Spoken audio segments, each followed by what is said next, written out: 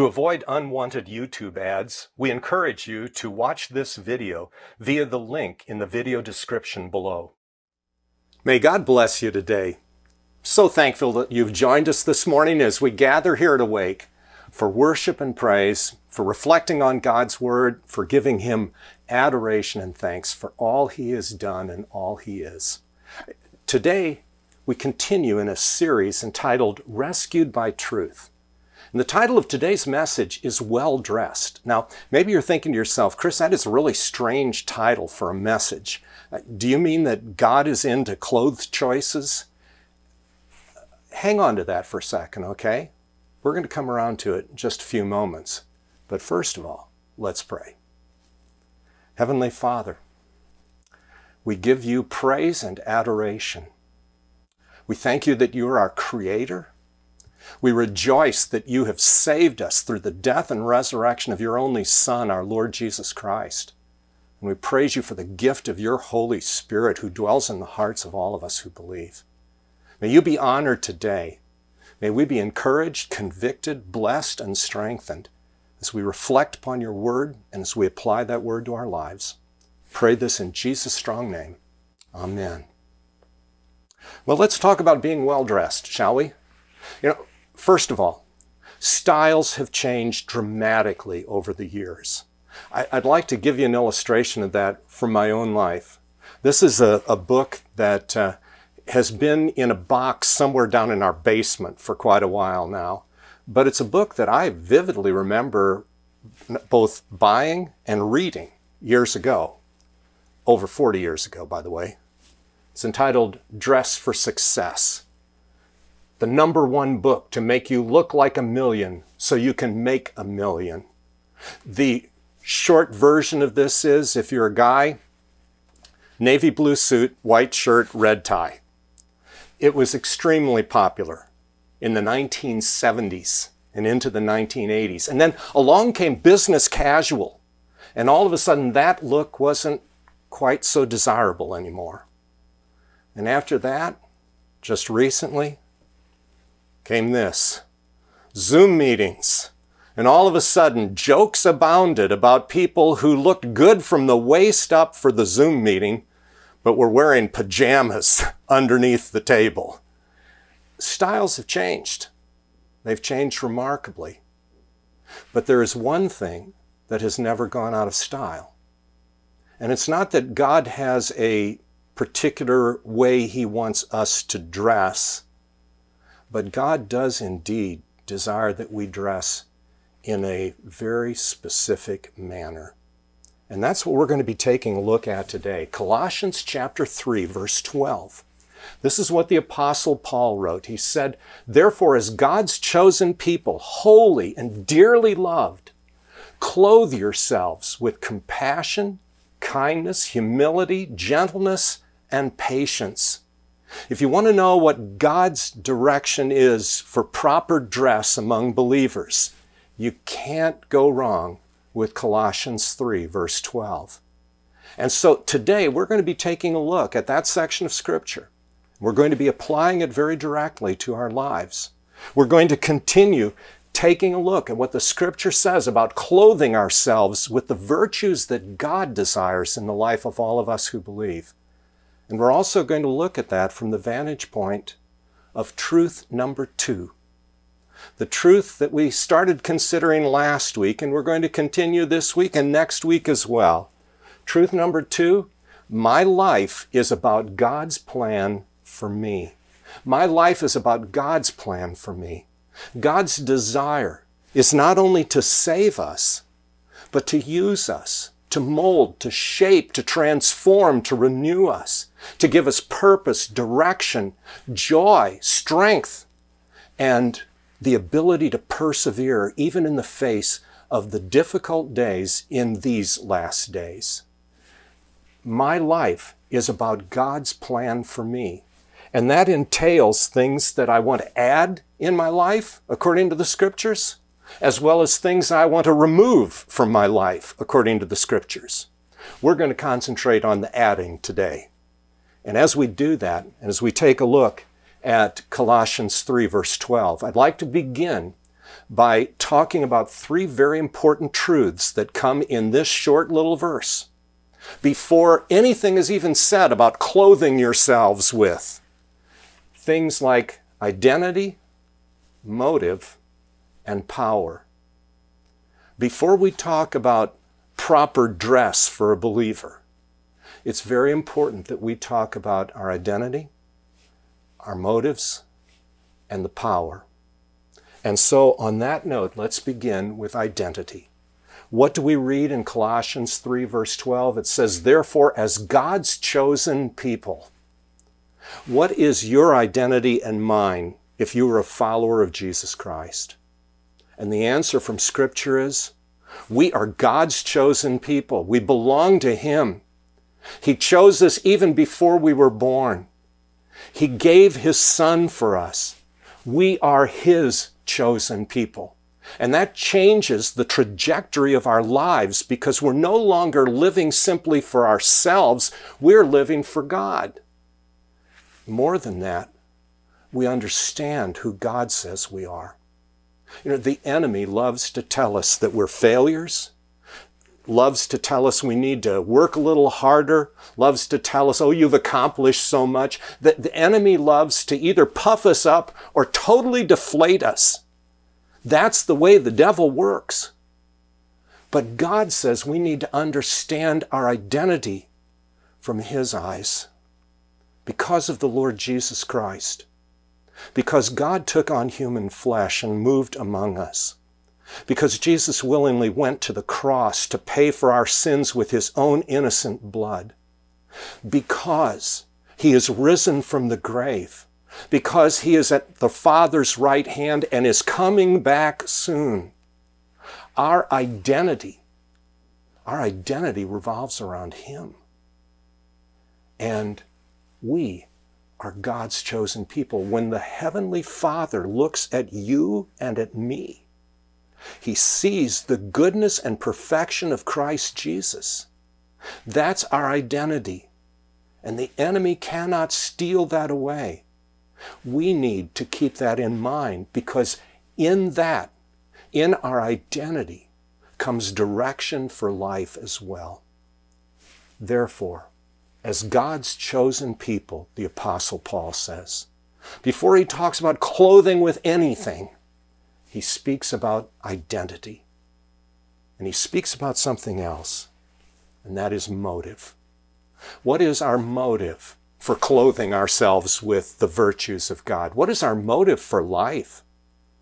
And the answer is also found in the opening words of Colossians 3, verse 12. The motive is this Therefore, as God's chosen people, holy, holy, set apart, set apart for service to God. What is our motive for living the Christian life? It's not so that others will look at us and be impressed. It's not so that we will feel good about ourselves. It's not so we will avoid certain difficulties. It's not so we can continue to abide by particular motives and actions and uh, values that we were taught as kids. Our motive is we've been chosen by God and set apart as holy set apart for His service, set apart for Him. Everything we do comes back to God. He's the one who made us. He's the one who saved us. He is the one who fills us with His Holy Spirit. Our motive is to give Him glory. What is your purpose and motive in life? If it's not to glorify God, it needs to change. Our motive revolves around the fact that He has declared us not just to be His chosen people, but His holy servants set apart for His glory and His service. That's profound stuff. And that is powerful and effective. And it leads us then to the third item that Paul talks about, and that is power. Power. The apostle writes, Therefore, as God's chosen people, holy and dearly loved, love is power. God so loved the world that he gave his one and only Son. In that is the power of forgiveness. God so loved the world that he not only gave his only Son for us all, but through the resurrection of Jesus and because of his ascension, as Jesus promised, he pours out the Holy Spirit upon us. And that's where power is found. It's not found in our own strength. It's not found in our own abilities. It is found in God. It is found in the fact that we are dearly loved by Him and He provides everything we need for our life in Him and for this life and for the life to come. Power. God gives us our identity. God is the one who changes our motives. And God is the one who imbues us with power, supernatural, divine power. And having said all of that, the Apostle Paul now moves on. And he goes and tells us about being well dressed. He says, Therefore, as God's chosen people, holy and dearly loved, clothe yourselves with compassion, kindness, humility, gentleness, and patience. Note that clothe yourselves, put it on. Every day, you and I are called to put on compassion, kindness, humility, gentleness, and patience. That is the way we reflect the goodness of God. When we get up in the morning, we change out of our pajamas and get into our work clothes. For a believer, every morning when we rise, we resolve by God's grace, by His strength, because our identity is found as His chosen people, because our motive is that we are holy people set apart by Him, and because our power is found in Him and His Holy Spirit, we resolve to clothe ourselves with compassion, kindness, humility, gentleness, and patience. Think about those things for a second.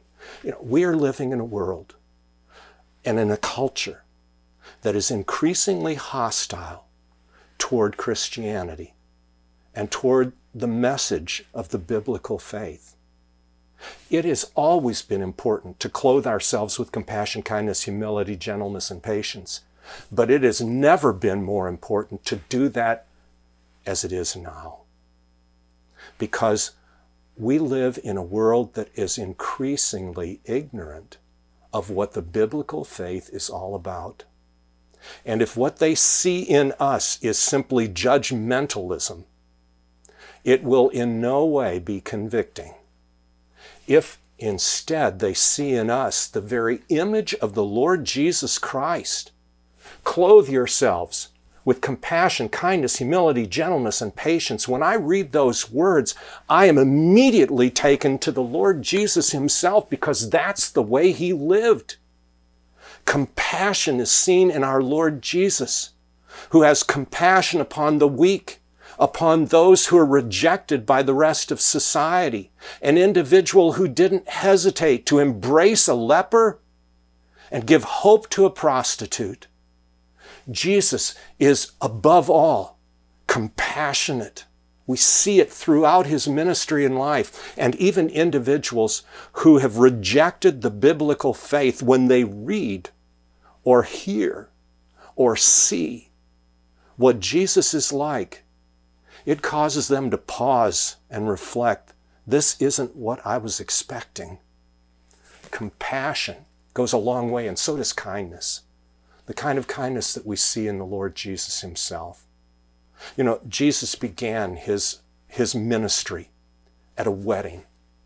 And we see incredible kindness there. It was profound, it was prophetic kindness, but it was kindness. He bailed out a bride and groom who could have been thoroughly embarrassed by running out of wine at this big shindig that was the most important day of their lives. Jesus shows kindness. He also shows humility. He is humble. He is gentle. Come to me, all of you who are weak and heavily burdened, and I will give you rest, he says.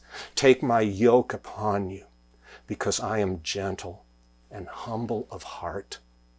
When we see these words, they lead us back to the Lord Jesus Christ, and they remind us that our call is to reflect Him in our lives, the kind of gentleness that He shows with those in desperate need, and the kind of patience He put up with us. Let's just be real honest. He came to that which was his own, the Apostle John writes, but his own did not receive him. Yet he did not, he did not call down fire from heaven. He instead took the wrath of the Heavenly Father. He did not say, I've had it with you people, you're toast. He said, I've come to rescue you. Father, forgive them, they do not know what they are doing.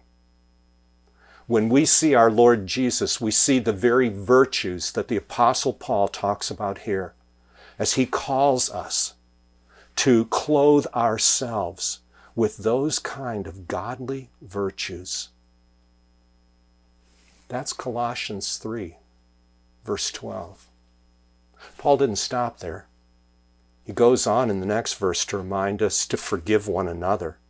How important that is that as believers, we not only forgive our enemies, we forgive our brothers and sisters. But then he adds this note, verse 14.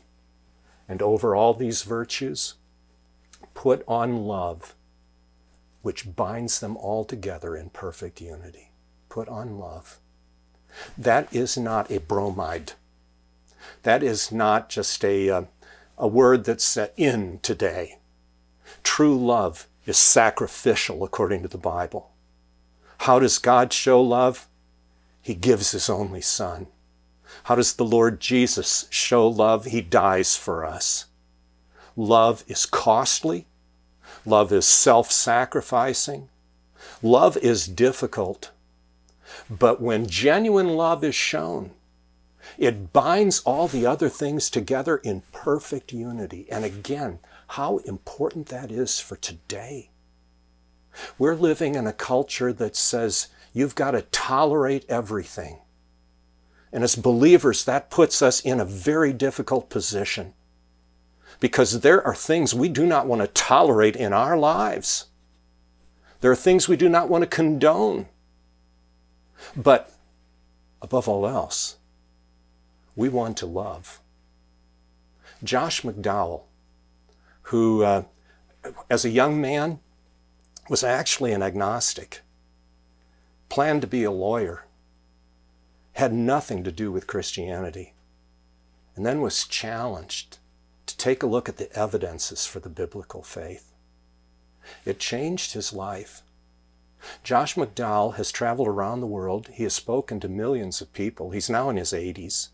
He's written over 140 books. And a number of years ago, he wrote these words that I think are especially applicable to our culture today, to the time in which we live, and to God's call to clothe ourselves with compassion and kindness, humility and gentleness, and over all these things put on love. This is what McDowell wrote. He said, Tolerance says, You must approve of what I do. Love responds, I must do something harder. I will love you even when your behavior offends me. Tolerance says, You must agree with me. Love says, I must do something harder. I will tell you the truth because I'm convinced the truth will set you free. Tolerance says, You must allow me to have my own way. Love responds, I must do something harder. I will plead with you to follow the right way because I believe you are worth the risk. Tolerance seeks to be inoffensive. Love takes risks. Tolerance glorifies division. Love seeks unity. Tolerance costs nothing. Love costs everything. God so loved the world that he gave his one and only Son. Therefore, dear brothers and sisters, clothe yourselves. And over all these things, put on love, which binds them together in perfect unity.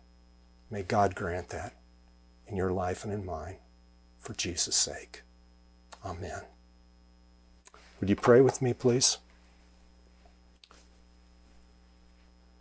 Lord, our desire is not to impress others with our clothing, but rather to glorify you with our character, with our lives, with our witness. Teach us daily to clothe ourselves with kindness and compassion, with humility and gentleness. Teach us above all else, Lord, to bind these things together with your divine, purposeful, sacrificial love. May Jesus be glorified. May others be drawn to you. And above all else, may you be praised. Amen. Let's talk about these things, shall we? Just to get the discussion started, a few things. First of all, do you see yourself as God sees you? That's so important. We need to reject what the enemy says about us. We need to see ourselves as God sees us, as precious in His sight, individuals for whom He died, even when our lives don't measure up. It is especially important to realize where our identity is found. And so, why is it essential to base your identity on what God says about you? Because if you try to do things on your own, where are you going to end up? And so, by faith in Christ Jesus, what do you need to put on daily?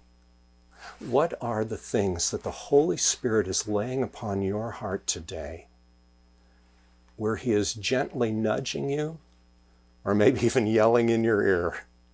Here are the things that you need to do as an act of faith to give glory to your Heavenly Father and to magnify the name of Jesus.